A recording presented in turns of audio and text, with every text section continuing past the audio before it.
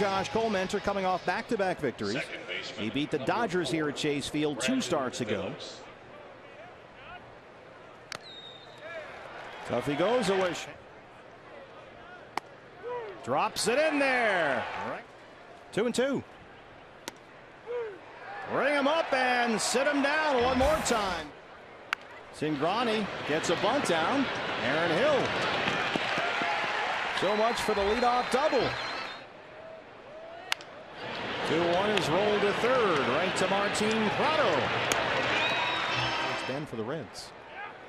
And there is the strikeout. That's four for Cole. Slaps it to the third base side of the mound. And look at the athleticism from Josh Collmenter.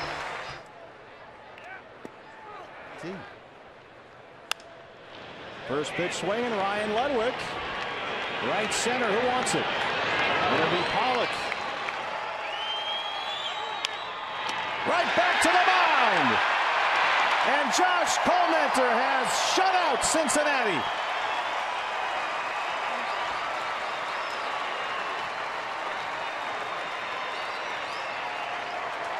He faces the minimum 27 batters. Just the 13th time that's happened in the major league since 1914. 27, Three hits allowed. He goes all the way.